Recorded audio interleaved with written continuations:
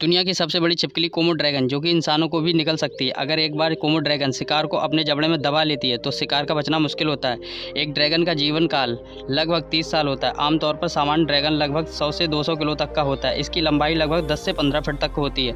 आपको यह जानकर हैरानी होगी, कोमो ड्रैगन हिरन, भैंस और बड़े बड़े जानवरों का शिकार आसानी से कर लेता है और मानव प्राणियों का भी आसानी से शिकार कर लेता है। कोमो ड्रैगन देखने में बहुत डरावनी होती है।